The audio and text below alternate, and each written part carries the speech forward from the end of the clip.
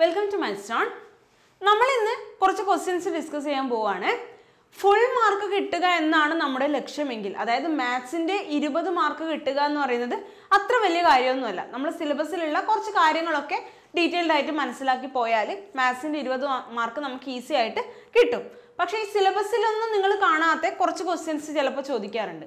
അങ്ങനെയുള്ള ക്വസ്റ്റ്യൻസ് കൂടെ നോക്കിക്കഴിഞ്ഞാൽ മാത്രമേ നിങ്ങൾക്ക് ഫുൾ മാർക്ക് എന്നുള്ളത് യാഥാർത്ഥ്യമാവുള്ളൂ.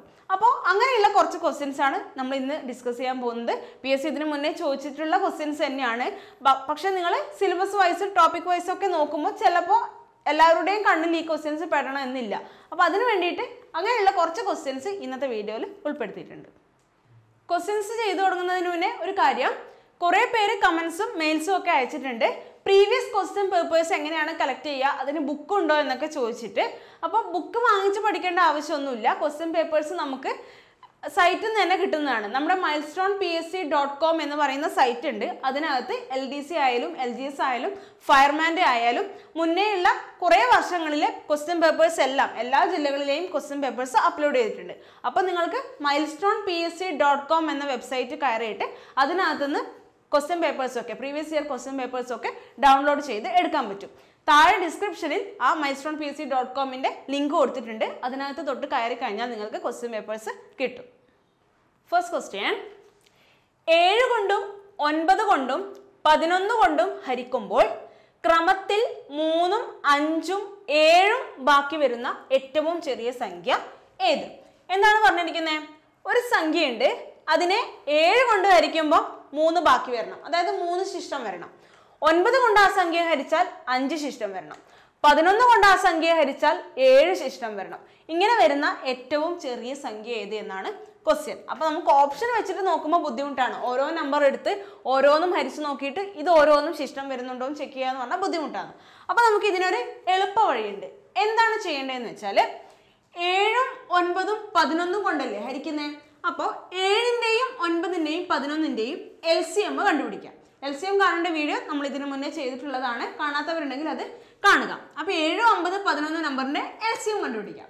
ആ എൽ സി എമ്മിൽ നിന്ന് ഇത് തമ്മിലുള്ള വ്യത്യാസം എത്രയാണോ അത് മൈനസ് ചെയ്യാം ഇവിടെ നോക്കിക്കഴിഞ്ഞാൽ ഏഴ് കൊണ്ട് ഹരിക്കുമ്പോൾ മൂന്ന് ശിഷ്ടം വരുന്നു. അപ്പോൾ എത്ര വ്യത്യാസമുണ്ട്?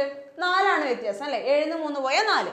ഒൻപത് കൊണ്ട് ഹരിക്കുമ്പോൾ അഞ്ച് ശിഷ്ടം വരുന്നു. എത്ര വ്യത്യാസം? ഒമ്പതിന് അഞ്ച് പോയാൽ നാല്. പതിനൊന്ന് കൊണ്ടായിരിക്കുമ്പോൾ ഏഴ് ശിഷ്ടം വരുന്നത് എത്ര വ്യത്യാ- വ്യത്യാസം? പതിനൊന്ന് ഏഴ് പോയാൽ നാല്. അപ്പൊ വ്യത്യാസം കോമൺ ആണ്. അപ്പൊ എന്ത് ചെയ്യാം? ഏഴിന്റെയും ഒമ്പതിന്റെയും പതിനൊന്നിന്റെയും എൽ സി എം കണ്ടിട്ട് അതിൽ നിന്ന് ആ കോമൺ വ്യത്യാസമായ നാല് മൈനസ് ചെയ്താൽ ആൻസർ ആയി. ഇത് നിങ്ങൾ അങ്ങനെ തന്നെ പഠിച്ചു വെക്കുക. മൂന്ന് നമ്പർ തന്നിട്ട് അവ കൊണ്ട് ഹരിക്കുമ്പോഴുള്ള മൂന്ന് ശിഷ്ടം തന്നു കഴിഞ്ഞാൽ എന്ത് ചെയ്യണം? ആ തന്നിട്ടുള്ള ഫസ്റ്റ് തന്നിട്ടുള്ള നമ്പറിന്റെ എൽ സി എം കണ്ടുപിടിക്കാം. എൽ സി എം ഓഫ് ഏഴ് ഒമ്പത് പതിനൊന്ന്. ഏഴ് ഒമ്പത് പതിനൊന്നിന്റെ എൽ സി എം എന്താണ്? ഏഴും പതിനൊന്നും പ്രൈം നമ്പേഴ്സ് ആണ്. അപ്പോൾ പ്രൈം നമ്പേഴ്സ് വരുമ്പോൾ എൽ സി എം കാണാൻ വേണ്ടിയിട്ട് എന്ത് ചെയ്താൽ മതി? മൂന്നും കൂടെ ഇന്റു ചെയ്താൽ മതി. ഏഴ് ഇന്റു ഒൻപത് ഇന്റു പതിനൊന്ന്. ഒൻപത് ഏഴ് അറുപത്തി മൂന്ന് അറുപത്തി മൂന്ന് ഇന്റു പതിനൊന്ന്. അറുപത്തി മൂന്ന് ഇന്റു പതിനൊന്ന് സൈഡിൽ ചെയ്യാനൊന്നും നിൽക്കണ്ട അറുപത്തി മൂന്ന് ഇന്റു പതിനൊന്ന് എങ്ങനെ ചെയ്യാം? പത്തിന് പത്ത് പ്ലസ് സോറി പതിനൊന്നിന് പത്ത് പ്ലസ് ഒന്നായാൽ അറുപത്തി മൂന്ന് ഇന്റു പത്ത് അറുന്നൂറ്റി മുപ്പതാണ് അറുപത്തി മൂന്ന് ഇന്റു ഒന്ന് അറുപത്തി മൂന്നാണ് അപ്പോൾ അറുന്നൂറ്റി തൊണ്ണൂറ്റി മൂന്ന് കിട്ടും. അത് ഗുണിച്ചിട്ട് സെപ്പറേറ്റ് എഴുതി ഗുണിക്കുന്ന ടൈം നമുക്ക് ലാഭിക്കാൻ പറ്റും. ഇങ്ങനെ സ്പ്ലിറ്റ് ചെയ്ത് ഗുണിക്കുന്ന മെത്തേഡ് നമ്മൾ ഇതിനു മുന്നേ ചെയ്തിട്ടുള്ളതാണ്. എളുപ്പത്തിൽ എങ്ങനെ ചെയ്യാം? എക്സാം ഹാളിൽ ഇരുന്ന് എളുപ്പത്തിൽ എങ്ങനെ ചെയ്യാം എന്നുള്ള വീഡിയോയിൽ അപ്പോൾ അറുപത്തിമൂന്നിന്റെ പതിനൊന്നിന് അറുപത്തിമൂന്നിന്റെ പത്തും അറുപത്തിമൂന്നിന്റെ ഒന്നും ചെയ്താൽ കിട്ടി. അപ്പോൾ എൽ സി എം എത്ര കിട്ടി? അറുന്നൂറ്റി തൊണ്ണൂറ്റി മൂന്ന് അതിൽ നിന്ന് എന്ത് ചെയ്യണം? കോമൺ ആയിട്ടുള്ള ഡിഫറൻസ് അതായത് ഏഴ് മൈനസ് മൂന്ന് നാലാണ്. ഒമ്പത് മൈനസ് അഞ്ച് നാലാണ്. പതിനൊന്ന് മൈനസ് ഏഴ് നാലാണ്. ഈ കോമൺ ഡിഫറൻസ് മൈനസ് ചെയ്താൽ ആൻസർ ആയി. അറുന്നൂറ്റി തൊണ്ണൂറ്റി മൂന്നിന്ന് നാല് പോയാൽ അറുന്നൂറ്റി എൺപത്തി ഒൻപത് എന്ന് കിട്ടും. ഓപ്ഷൻ ഡി ആയിരിക്കും ആൻസർ ഒരു ക്വസ്റ്റ്യനും കൂടി ഇതുപോലെ ചെയ്യാം. അപ്പം നിങ്ങൾക്ക് ക്ലിയർ ആവും. അടുത്ത ചോദ്യം. പതിനൊന്ന് പതിനഞ്ച് ഇരുപത്തി ഒന്ന് എന്നിവ കൊണ്ട് ഹരിക്കുമ്പോൾ ക്രമത്തിൽ ഒൻപത് പതിമൂന്ന് പത്തൊൻപത് എന്നിവ ബാക്കി വരുന്ന ഏറ്റവും ചെറിയ സംഖ്യ ഏത്? നേരത്തെ ചെയ്ത സെയിം ക്വസ്റ്റ്യൻ തന്നെയാണ്. ഇവിടെ ഡിഫറൻസ് എത്രയാണ്? പതിനൊന്നിൽ നിന്ന് ഒമ്പത് പോയാൽ രണ്ടാണ്. പതിനഞ്ചിൽ നിന്ന് പതിമൂന്ന് പോയാൽ രണ്ട്. ഇരുപത്തൊന്നിൽ നിന്ന് പത്തൊൻപത് പോയാൽ രണ്ട്. അപ്പോൾ ഇവ തമ്മിലുള്ള ഡിഫറൻസ് ഓരോന്നിനും രണ്ടാണ് കിട്ടുന്നത്. അപ്പോൾ എന്ത് ചെയ്യണം? പതിനൊന്ന് പതിനഞ്ച് ഇരുപത്തൊന്ന്. ഇവയുടെ എൽ സി എം കാണുക. അതിൽ നിന്ന് കോമൺ ഡിഫറൻസ് ആയിട്ടുള്ള ഈ രണ്ട് മൈനസ് ചെയ്യുക. ഈസി അല്ലേ? പതിനൊന്ന് പതിനഞ്ച് ഇരുപത്തി ഒന്ന് പതിനൊന്ന് പ്രൈം നമ്പറാണ് ബാക്കി രണ്ടെണ്ണം അല്ല. അപ്പം എന്ത് ചെയ്യുക എൽ സി എം കാണാം. പതിനഞ്ചിലും ഇരുപത്തൊന്നിലും മൂന്ന് പോകും. പതിനൊന്നിൽ കംപ്ലീറ്റ് ആയിട്ട് പോയില്ല അപ്പോൾ പതിനൊന്ന് അതുപോലെ എഴുതുക. പതിനഞ്ചിൽ മൂന്ന് അഞ്ച് പ്രാവശ്യം. ഇരുപത്തൊന്നിൽ മൂന്ന് ഏഴ് പ്രാവശ്യം. അപ്പം എൽ സി എം എന്താണ്? എൽ സി എം സമം മൂന്ന് ഇന്റു പതിനൊന്ന് ഇന്റു അഞ്ച് ഇന്റു ഏഴ്. ഇതൊക്കെ ഗുണിച്ചതായിരിക്കും എൽ സി എം നോക്കാം. ഏഴ് ഇന്റു അഞ്ച് മുപ്പത്തഞ്ച്. മുപ്പത്തഞ്ച് ഇന്റു മൂന്ന് നൂറ്റി അഞ്ച് നൂറ്റഞ്ച് ഇന്റു പതിനൊന്ന്. എൽ സി എം നേരത്തെ ചെയ്ത പോലെ ചെയ്യാം. പതിനൊന്നിന് പത്ത് പ്ലസ് ഒന്ന് എന്ന് എഴുതിയാൽ നൂറ്റഞ്ച് ഇന്റു പത്ത് ആയിരത്തി അൻപത് പ്ലസ് നൂറ്റഞ്ച് ഇന്റു ഒന്ന് നൂറ്റഞ്ച്. അഞ്ച് അഞ്ച് ഒന്ന് ഒന്ന്. ആയിരത്തി ഒരുന്നൂറ്റി അൻപത്തി അഞ്ച് ആണ് എൽ സി എം കിട്ടിയത്. ഇനി എന്ത് ചെയ്യണം? എൽ സി എമ്മിൽ നിന്ന് ആയിരത്തി ഒരുന്നൂറ്റി അമ്പത്തി അഞ്ചിൽ നിന്ന് ഈ കോമൺ ആയിട്ടുള്ള സംഖ്യ അതായത് രണ്ട് മൈനസ് ചെയ്തതായിരിക്കും ആൻസർ ആയിരത്തി ഒരുന്നൂറ്റി അൻപത്തി മൂന്ന് എന്ന് ആൻസർ കിട്ടും. അപ്പോൾ എന്താണ്? മൂന്ന് സംഖ്യകൾ എന്നിവ കൊണ്ട് ഹരിക്കുമ്പോൾ ക്രമത്തിൽ വരുന്ന ശിഷ്ടവും തന്നിട്ടുണ്ടെങ്കിൽ കോമൺ ആയിട്ടുള്ള ഡിഫറൻസ് ആണെങ്കിൽ എന്ത് ചെയ്താൽ മതി? മൊത്തം എൽ സി എം കാണുക അതിൽ നിന്ന് കോമൺ ഡിഫറൻസ് മൈനസ് ചെയ്യുക. അത് അങ്ങനെ തന്നെ നിങ്ങൾ പഠിച്ചു വെക്കുക. അടുത്തത് ഇപ്പൊ ചെയ്ത ക്വസ്റ്റ്യന് ചെറിയൊരു വ്യത്യാസമുള്ള ക്വസ്റ്റ്യൻ ആണ്. പതിനൊന്ന് പതിനഞ്ച് പതിനേഴ് എന്നിവ കൊണ്ട് ഹരിക്കുമ്പോൾ നാല് ശിഷ്ടം വരുന്ന ഏറ്റവും ചെറിയ സംഖ്യ. നേരത്തെ ഉള്ള ക്വസ്റ്റ്യൻ എന്തായിരുന്നു? മൂന്ന് നമ്പേഴ്സ് കൊണ്ട് ഹരിക്കുമ്പോൾ വരുന്ന ശിഷ്ടം മറ്റ് മൂന്ന് നമ്പേഴ്സ് ആണ്. അല്ലേ? മൂന്ന് നമ്പേഴ്സ് കൊണ്ട് ഹരിക്കുമ്പോൾ വരുന്ന ശിഷ്ടം മറ്റ് മൂന്ന് നമ്പേഴ്സ് ആണ്. പക്ഷെ ഇവിടെ ഈ മൂന്ന് നമ്പർ കൊണ്ട് ഹരിക്കുമ്പോൾ ശിഷ്ടം എത്രയാണ്? കോമൺ ആയിട്ട് നാലാണ് ശിഷ്ടം വരുന്നത്. അപ്പോൾ അവിടെ എന്ത് ചെയ്തു? മൂന്ന് നമ്പർ കൊണ്ട് ഹരിക്കുമ്പോൾ മറ്റ് മൂന്ന് നമ്പർ ശിഷ്ടം വരുമ്പോൾ എന്ത് ചെയ്തു? ഫസ്റ്റുള്ള നമ്പറിന്റെ എൽ സി എം കണ്ടിട്ട് ആ വരുന്ന കോമൺ ഡിഫറൻസ് നമ്മൾ മൈനസ് ചെയ്തു. ഇവിടെ എന്ത് ചെയ്യണം? സെയിം തന്നെയാണ് എൽ സി എം ആണ് ആദ്യം. പതിനൊന്ന് പതിനഞ്ച് പതിനേഴ്. അതിനോട് ഈ കോമൺ ആയിട്ട് വരുന്ന ശിഷ്ടം ആഡ് ചെയ്യുക കൂട്ടുക. എന്നാൽ ആൻസറായി നേരത്തെ ആ ഡിഫറൻസ് മൈനസ് ചെയ്തു. ഇവിടെ ഒറ്റ ഒരു നമ്പർ മാത്രമേ തന്നിട്ടുള്ളൂ. അതുകൊണ്ട് എന്ത് ചെയ്യുക? ആ ശിഷ്ടം അങ്ങ് കൂട്ടുക. എന്നാൽ ആൻസറായി അപ്പോൾ എന്ത് ചെയ്യാം? എൽ സി എം ഓഫ് പതിനൊന്ന് പതിനഞ്ച് പതിനേഴ്. പതിനൊന്നും പതിനേഴും പ്രൈം നമ്പേഴ്സ് ആണ്. അപ്പോൾ എൽ സി എം എങ്ങനെ കിട്ടും? പതിനൊന്ന് ഇന്റു പതിനഞ്ച് ഇന്റു പതിനേഴ്. എല്ലാം കൂടെ ഗുണിക്കൽ മാത്രമേ നിവർത്തിയുള്ളൂ. അപ്പോൾ പതിനേഴ് ഇന്റു പതിനഞ്ച് എത്രയാണ്?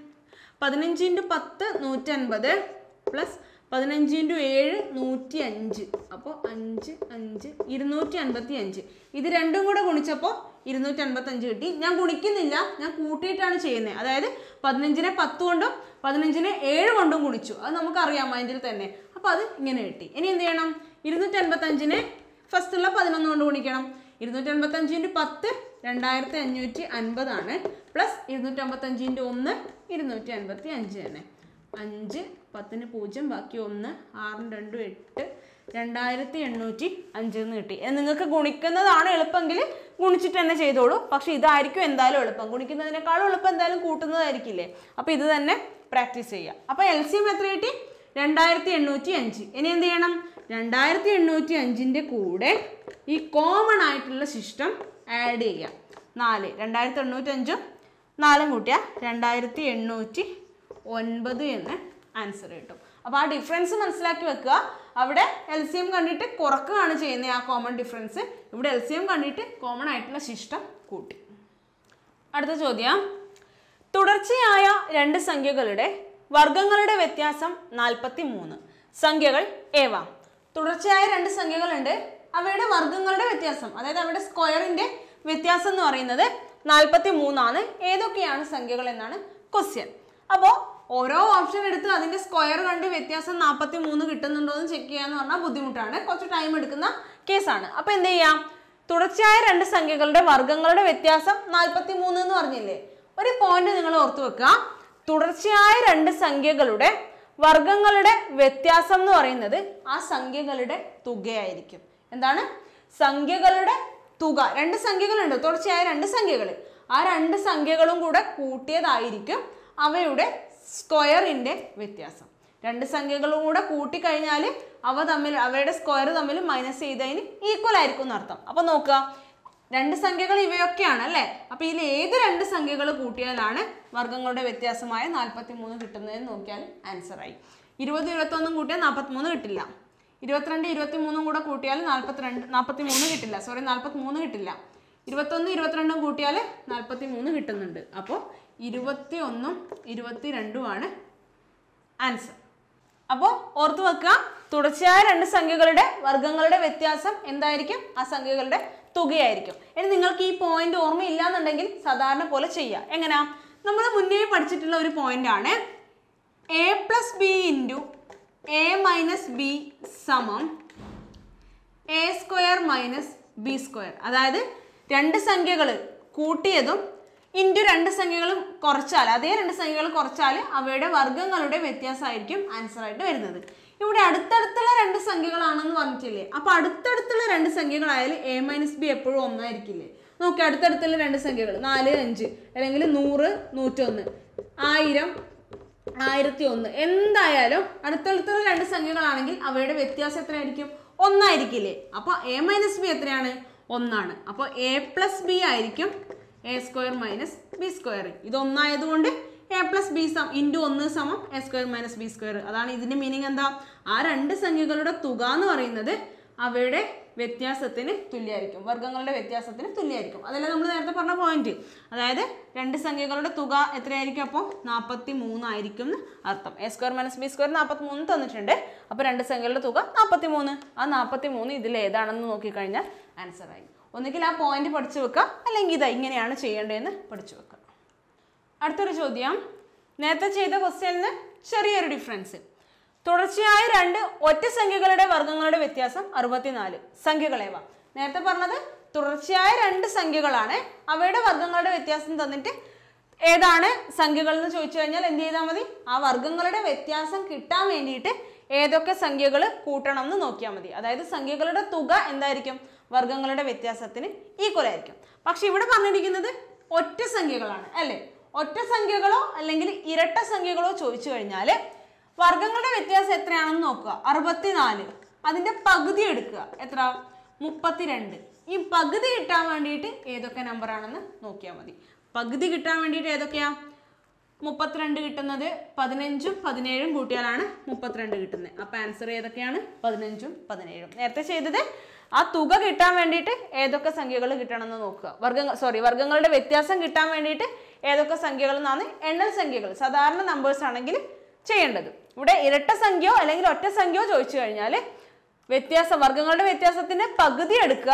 അത് കിട്ടാൻ വേണ്ടിയിട്ട് ഏതൊക്കെ നോക്കുക. അവിടെ സംഖ്യ തന്നെ എടുക്കുക ഇവിടെ പകുതി എടുക്കുക. അത് മാത്രമേ വ്യത്യാസമുള്ളൂ. കൺഫ്യൂഷൻ ഉണ്ടാവും എന്നറിയാം എന്നാലും നമുക്ക് വേറെ വഴിയില്ല. പഠിച്ചേ പറ്റൂ. അപ്പം നിങ്ങളുടേതായ രീതിയിൽ മനസ്സിലാവുന്ന പോലെ എഴുതി വെച്ചിട്ട് അത് പഠിക്കാം അടുത്തൊരു ചോദ്യം നോക്കാം. അഞ്ഞൂറിനും ആയിരത്തിനും ഇടയിൽ ഒൻപതിന്റെ എത്ര ഗുണിതങ്ങൾ ഉണ്ട്? അഞ്ഞൂറിനും ആയിരത്തിനും ഇടയിൽ ഒൻപതിന്റെ എത്ര ഗുണിതങ്ങൾ ഉണ്ട്? ഇങ്ങനെയുള്ള കുറേ ക്വസ്റ്റ്യൻസ് കണ്ടിട്ടുണ്ടാവും. നൂറിനും ആയിരത്തിനും ഇടയിൽ പത്ത് ഏഴിന്റെ എത്ര ഗുണിതങ്ങൾ ഉണ്ട്? അങ്ങനെയുള്ള ക്വസ്റ്റ്യൻസ് ഒക്കെ ചോദിക്കാറുണ്ട്. എന്താ ചെയ്യേണ്ടതെന്ന് വെച്ചാൽ ഒൻപതിന്റെ ഗുണിതങ്ങളാണ് ചോദിച്ചിരിക്കുന്നത് അപ്പോൾ അഞ്ഞൂറിനെ ഒൻപത് കൊണ്ട് ഹരിക്കുക. അതായത് അഞ്ഞൂറിനുള്ളിൽ ഒൻപതിന്റെ എത്ര ഗുണിതങ്ങളുണ്ട്? എത്ര ഒൻപതുകൾ അഞ്ഞൂറിലുണ്ട് എന്ന് കിട്ടും അല്ലേ? അഞ്ഞൂറിന് ഒമ്പത് കൊണ്ട് ഹരിച്ച എത്രയാ? അൻപതിൽ ഒൻപത് അഞ്ച് പ്രാവശ്യം. ഒമ്പത് അഞ്ച് നാൽപ്പത്തഞ്ച് ബാക്കി അഞ്ച് വീണ്ടും അൻപതാവും. അൻപതിൽ ഒമ്പത് അഞ്ച് പ്രാവശ്യം. അതായത് അൻപത്തി അഞ്ച് പ്ലസ് എത്രയോ ശിഷ്ടം ഉണ്ടാവും നമുക്ക് ശിഷ്ടത്തിനെ മൈൻഡ് ചെയ്യേണ്ട ആവശ്യമില്ല. അതിൽ അതിലെന്തായാലും ഒൻപത് പോയില്ലല്ലോ അതുകൊണ്ടല്ലേ ശിഷ്ടം വന്നേ. അപ്പോൾ പ്ലസ് ശിഷ്ടം ഉണ്ടാവും ശിഷ്ടത്തിനെ നമുക്ക് മൈൻഡ് ചെയ്യേണ്ട. എങ്ങനെ? ഒൻപതിനെ സോറി അഞ്ഞൂറിനെ ഒൻപത് കൊണ്ട് ഹരിച്ചു. ഇനി എന്ത് ചെയ്യാം? ആയിരത്തിനെ ഒൻപത് കൊണ്ട് ഹരിക്കുക.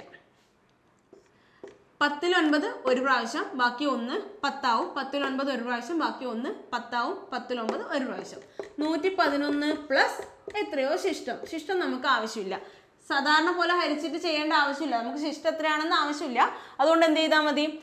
ഡയറക്റ്റ് ആയിട്ട് ഇങ്ങനെ വെട്ടിക്കുറക്കുന്ന മെത്തേഡിൽ ചെയ്താൽ മതി. ഇതൊക്കെ നമ്മൾ ബേസിക് മാത്സിന്റെ വീഡിയോയിൽ പറഞ്ഞിട്ടുള്ളതാണ് എങ്ങനെയാണ് ഈ വെട്ടിക്കുറക്കുന്നത് എന്നുള്ളത്. അപ്പൊ ഇതിന്റെ മീനിങ് എന്താ? അഞ്ഞൂറ് വരെ അൻപത്തി അഞ്ച് ഗുണിതങ്ങളുണ്ട്. ഒൻപതിന്റെ അൻപത്തഞ്ച് ഗുണിതങ്ങൾ അഞ്ഞൂറ് വരെ ഉണ്ട് ഓക്കെ അഞ്ഞൂറും ആയിരം ഉണ്ട്. ഈ അഞ്ഞൂറ് വരെ അൻപത്തി അഞ്ചെണ്ണം ഉണ്ട്. ആയിരം വരെ നൂറ്റി പതിനൊന്നെണ്ണം ഉണ്ട്. അഞ്ഞൂറ് വരെ അൻപത്തഞ്ച് ആയിരം വരെ നൂറ്റി പതിനൊന്ന് നമുക്ക് കണ്ടുപിടിക്കേണ്ടത് എന്താ? ഇതാണ്. അഞ്ഞൂറ് മുതൽ ആയിരം വരെ എത്രയാണ്? അപ്പം ഈ അഞ്ഞൂറ് വരെ ഉള്ളത് മൊത്തത്തിൽ നിന്ന് മൈനസ് ചെയ്താൽ ഇവിടെ വരെ ഉള്ളത് കിട്ടിയില്ലേ? അഞ്ഞൂറ് വരെ അമ്പത്തഞ്ചുണ്ട്. ആയിരം വരെ നൂറ്റി പതിനൊന്നുണ്ട് അപ്പോൾ ആയിരം വരെ ഉള്ളതിൽ നിന്ന് അഞ്ഞൂറ് വരെ ഉള്ളത് മൈനസ് ചെയ്താൽ അഞ്ഞൂറിനും ആയിരത്തിനും ഇടക്കുള്ളത് നമുക്ക് ആൻസർ ആയിട്ട് കിട്ടും. എത്ര കിട്ടും? അൻപത്തി എന്ന് ആൻസർ കിട്ടും. ഓക്കെ ആണല്ലോ? എന്താ ചെയ്തേ? അഞ്ഞൂറ് വരെ എത്രയുണ്ട് കണ്ടുപിടിച്ചു? ആയിരം വരെ എത്രയുണ്ടെന്ന് കണ്ടുപിടിച്ചു. അപ്പോൾ ആയിരം വരെ ഉള്ളതിൽ അഞ്ഞൂറിന് മുമ്പേ ഉള്ളത്. അഞ്ഞൂറ് വരെ ഉള്ളത് മൈനസ് ചെയ്താൽ അഞ്ഞൂറിനും ആയിരത്തിനും ഇടക്കുള്ളത് കിട്ടും. അപ്പോൾ ഇങ്ങനെയാണ് ഇങ്ങനെയുള്ള ക്വസ്റ്റ്യൻസ് ചെയ്യേണ്ടത്. അപ്പോൾ ഇന്ന് നമ്മൾ കുറച്ച് ക്വസ്റ്റ്യൻസ് ഡിസ്കസ് ചെയ്തിട്ടുണ്ട്. എന്തായാലും അറിയാം. എല്ലാ ക്വസ്റ്റ്യൻസും കൺഫ്യൂസിംഗ് ആയിട്ടുള്ള ക്വസ്റ്റ്യൻസ് തന്നെയാണ്. പക്ഷെ ഞാൻ ആദ്യം പറഞ്ഞ പോലെ ഫുൾ മാർക്ക് കിട്ടണമെങ്കിൽ നമുക്ക് എല്ലാ ടൈപ്പ് ക്വസ്റ്റ്യൻസും പഠിച്ചേ പറ്റൂ. അപ്പോൾ ആ ഒരു സ്പിരിറ്റിൽ നിങ്ങളെല്ലാം പഠിക്കുക. അപ്പോൾ ഇതിന് മുന്നേ തന്നെ L D C L G S എക്സാമിനൊക്കെ വേണ്ടിയിട്ടുള്ള ടോപ്പിക് ടോപ്പിക്സ് ഒക്കെ കവർ ചെയ്തിട്ടുണ്ട്. ഇനി കുറച്ചെണ്ണം മാത്രമേ ബാക്കിയുള്ളൂ. അതും കൂടെ എക്സാം ആവുന്നതിന് മുന്നേ കവർ ചെയ്യും. അപ്പോൾ എല്ലാവരും നന്നായിട്ട് പ്രിപ്പയർ ചെയ്യുക. ജി കെ ക്ലാസ്സുകൾ milestone P S C G K എന്ന ചാനലിൽ അവൈലബിൾ ആയിരിക്കും. അപ്പോൾ ഇന്നത്തെ വീഡിയോ എല്ലാവർക്കും ഇഷ്ടമായെന്ന് വിചാരിക്കുന്നു. വീഡിയോ ഇഷ്ടമായെങ്കിൽ ലൈക്ക് ചെയ്യുക ഷെയർ ചെയ്യുക. കൂടുതൽ വീഡിയോസിനായിട്ട് ചാനൽ സബ്സ്ക്രൈബ് ചെയ്യുക.